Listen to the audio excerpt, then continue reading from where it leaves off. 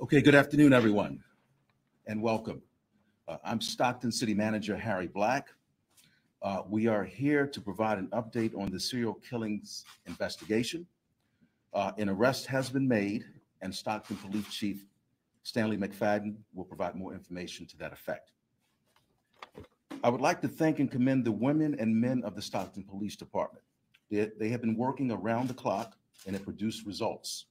Their work exemplifies the best of police field operations and detective work. Also, I would like to thank our various Joint Task Force member agencies for their assistance and resources in getting us to this point and beyond. The FBI, the ATF, the DEA, the U.S. Marshal Service, California Highway Patrol, and the San Joaquin County Sheriff's Department. Their assistance has been invaluable a big thank you also must go out to the Stockton community for their help in getting us to this point. Stockton remains Stockton strong. At this time, you will hear from Chief McFadden, followed by Stockton Mayor Kevin Lincoln, and then San Joaquin County District Attorney Tori Verber Salazar. Chief.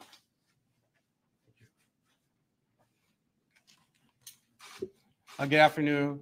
I'm Chief Stanley McFadden. I thank you all for being here today. It is very important for you all to be here. Before I go into details about their arrest, I want to thank the men and women of the Stockton Police Department and our law enforcement partners who have been involved with this investigation. It's a large group of law enforcement experts that really helped us to toe the line.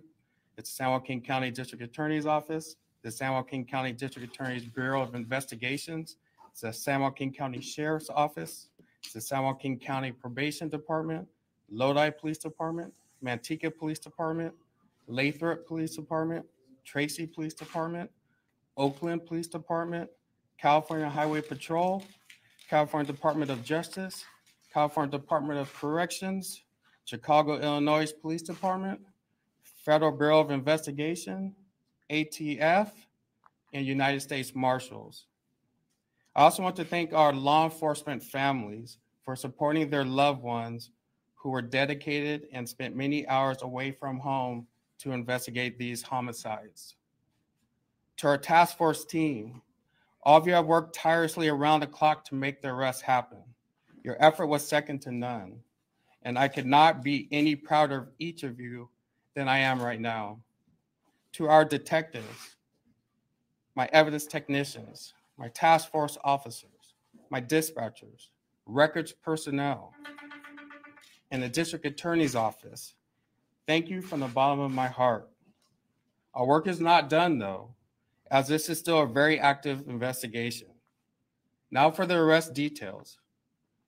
Please remember, I can only provide limited information for the integrity of the investigation. Just because an arrest was made does not mean the investigation stops. We now have to have a successful prosecution for our victims and their families. For the last two days, I have met with our victims, their families. I can't go into our conversations, but our talks were very emotional. They want us to bring this person to justice. I'm honored to tell them and all of you that we have an all star team of district attorneys and lead detectives who will bring justice for the families. The arrest happened in two parts. One was community tips, and the second was good old fashioned police work. Based on tips coming to the department's Stockton Crime Stoppers, were we able to zero in on a possible suspect. Our surveillance team followed this person while he was driving. We watched his patterns and determined early this morning he was on a mission to kill. He was out hunting. He was stopped by our own team in the area of Village Green Drive and Winslow Avenue around 2 a.m. this morning. As officers made contact with him, he was wearing dark clothing and had a mask around his neck. He was also armed with a firearm when he was taken into custody. We are sure we stopped another killing. Arrested was Wesley Brownlee, 43, for homicide. The San Joaquin County District Attorney's Office will be reviewing this investigation and will file the appropriate charges. I want all you to know how seriously I take these types of investigations. This morning, when SWAT team was ordered to go out and conduct a search warrant at, at Mr. Wesley's residence, I went with them. Now, I would also like to thank each of you here, the media. Thank you. The news coverage, thank you for the social media stories, and thank you for keeping the victims' memories alive during your coverage. You and our community also played a part in this. We still need more tips to come in. If anyone has information about Wesley and this investigation, please get those to our investigators. At this time, I would like to bring up our own Mayor Kevin Lincoln.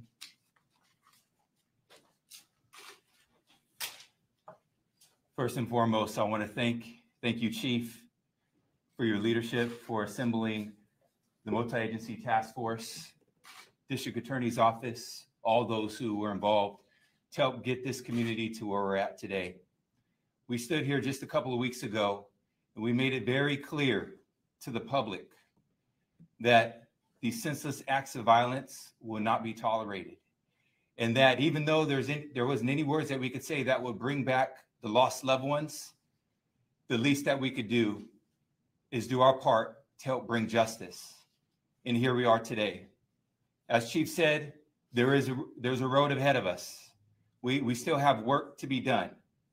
But to the community, thank you for everything that you've done. Thank you for stepping up. Thank you for exercising your voice. Thank you for sub- submitting the hundreds of tips that have come in on a daily basis. This could not have been done, and today would not be made possible without you. But I want to make a special thank you to our brave men and women who are protected and who sworn to protect and serve this community. Your countless and tireless commitment and service to our community is one of the main reasons why we're here today. This community, this city, this Stockton Police Department is committed and dedicated to the people of this city. And public service, public safety still remains our number one priority. And I want to make this very, very clear to the people of Stockton, California, the United States, and around the world that when the people of our city of Stockton, California come together and we unite, we can get things done. Stockton will be a place where people can live, raise a family, and grow a business. This is a beautiful city. This is a city that each and every one of us call home. And there will not, we will not tolerate any acts of senseless violence. Those will be held accountable, and we will use every resource at our disposal to make sure the people of our city are protected and feel safe, and that no parent has to worry about taking their kids to a park, that nobody would have to worry about looking over their shoulder when they go to the grocery store, and that our unhoused population here in the city of Stockton will be able to rest a little bit easier tonight as we take the next steps towards getting them help in healing in their life. So, to the people in blue, to our men and women who serve this community, thank you. To the residents of Stockton, thank you. To the media, thank you. God bless you, and God bless Stockton.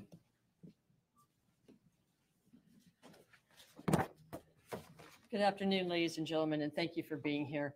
Before I begin the statement on behalf of the Office of the District Attorney, I'd like all of us to take a moment of silence for these victims. If you would join me.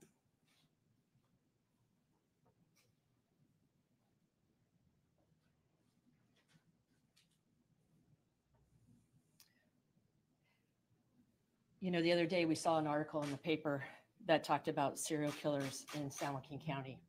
Some were not ours. They simply died at CDCR's facility in Stockton.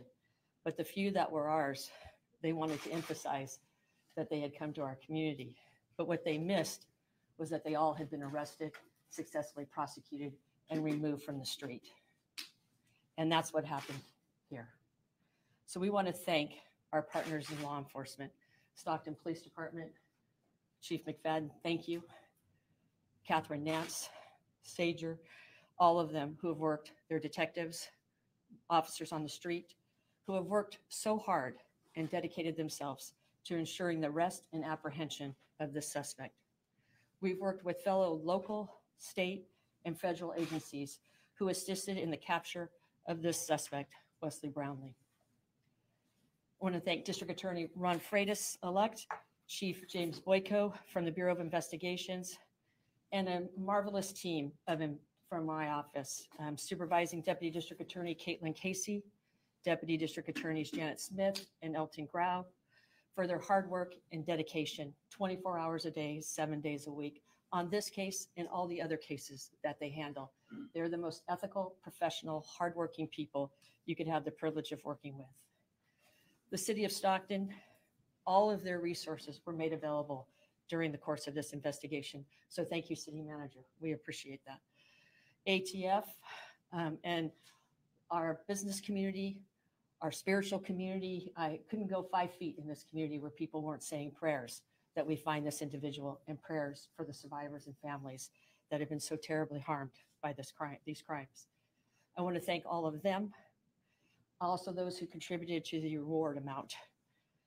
In conjunction with Stockton Police Department, the San Joaquin County District Attorney's Office is committed to is committed to ensuring the safety of our community. My administration has been working around the clock to providing any necessary resources that the Stockton Police Department would need during the course of this investigation into these tragic killings. My deputy district attorneys, who have been here all night, are reviewing the evidence as we speak, and they're working actively in partnership with the investigation to determine the charges that we'll proceed on. The defendant, because I'm no longer ever going to say his name again, because he doesn't deserve to have a name. He doesn't deserve to be out there. So the defendant is what we're going to call him from now on. The defendant will have charges, will be arraigned in court on Tuesday afternoon at 1:30. At that point, after the arraignment, we'll have a press conference announcing the charges and discussing those charges further with you. This is a very fluid and ongoing investigation. So we will most likely be adding charges, but at this time, we have to bring him before a magistrate within 48 hours. That clock's running now, so we have till Tuesday to bring him in. We'll arraign him at that time, and then we'll proceed to continue to assist with the investigation and also assist in healing our community. Our Family Justice Center, our doors are open, our victim witness services are available, and we're here to help. This crime was solved because we're Stocktonians, because you don't come to our house and bring this kind of reign of terror and not mobilize 350,000 people, 780,000 in this whole entire county, mobilized, mobilized, and captured this individual who reign of terror is no longer. So I want to thank San Joaquin County and particularly the city of Stockton, community members, activists, people in our faith-based community, businesses, our law enforcement, our prosecution, and now we'll be rolling into the court. Thank them all for this opportunity to really bring home justice for these victims. At this time, um, I believe we'll open it up for questions. Yeah, yeah. we'll, we'll take a few questions and we'll do our best to respond to the extent that we can respond. Was he from Stockton? I'm sorry, I'm sorry, I'm sorry. I too would like to thank all of our law enforcement partners, especially the brave men and women of the Stockton Police Department and the deputy district attorneys assigned to this case from the very beginning. Supervising Deputy District Attorney Caitlin Casey, Deputy District Attorney Elton Grau, and Deputy District Attorney Janet Smith. Our thoughts and prayers are with the victims and their families. And the suspect's reign of terror in our community has come to an end.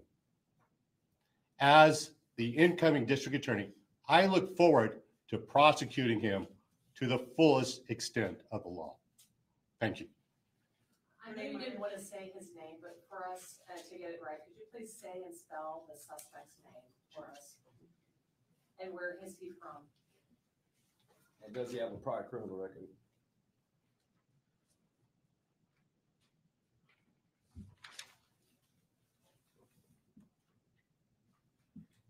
Name is Wesley Brownlee. That'd be W E S L E Y. Brownlee, B R O W N L E E, is 43 years old and currently resides in Stockton. Chief, you mentioned he was hunting. Are those words that came from the suspect? No, those are not. Those are us watching his patterns and behavior. Can you speak to the value of, of the new Facebook group that has been working and mobilizing and been called a trailblazing effort to, um, contribute to this investigation and also how you see them playing a role in, um, continuing to secure, um, additional tips and help to bring home. I know uh, my PIO, Joseph Silva, has partnered with him and has stayed in communications as far as information that's been going back and forth.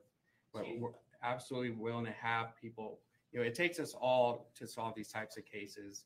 And we- we're very happy to see uh, a, a, a group of folks willing to come together and put a lot of time into it as well. Chief, to the extent you can, could you walk us through the, the investigative steps that led the investigators this morning to this guy's car? Um, and how, you know, what evidence we have to know that this is our guy? I can tell you I have information that had got us to his place of residence. And at, at, at that point, we, we maintained eyes on that residence i- until he became mobile. Once he became mobile is when we started to continue follow him until we eventually took him off, when we identified that he's posing a threat. Do we know if this person suffers from any psychological condition? That I do not know at all. Has the police department had run-ins with him in the past? I know he does have a, a criminal history. I'm not sure to what extent or with what agencies. Can you speak to any possible motive? That I don't know. The firearm he used, is that firearm stolen? Does it belong to him? That we don't know. Absolutely, it's a, a critical piece of evidence that will be processed. Is he a long-term resident of Stockton or has he been back and forth between Oakland? I, I believe he has lived in different cities in addition to Stockton. You know how long he's lived here for kind of a continuous time? No, I don't. Are, you- are you able to tell us, uh, any connection, whether it's residence or otherwise, to the neighborhood in Stockton where a lot of these killings took place in, you know, near I-5 and Calvert? That I don't know uh, specifically. I, I do know where he lived wasn't too far from one of our um, homicides. Can you say which one? He lives, um, yeah. Are you able to speak to his mode of transportation? A lot of theories have been speculated as to railroad, um, vehicle, um, and, but obviously, can you speak to any of those details? Well, all, all we know is he was mobile in a vehicle, and that's all we know. We know part of his, his, his, his pattern in preying is at some point to get on foot. Can you describe the vehicle? at all? No, we're not. gonna do that. Chief, you said that you followed him until you are identifying that he was posing a threat. What exactly, you know, was that? What was he doing that made you think he was on the hunt, on this mission? Just his patterns were consistent with some of the patterns that we had seen were, um, you know, around parks, around dark places, stopping, looking around, moving again. And at, at, at that point, we thought for the safety of the public, it was best to take this person off. All right, thank you, guys. That concludes our press conference today. Thank you. Thank you.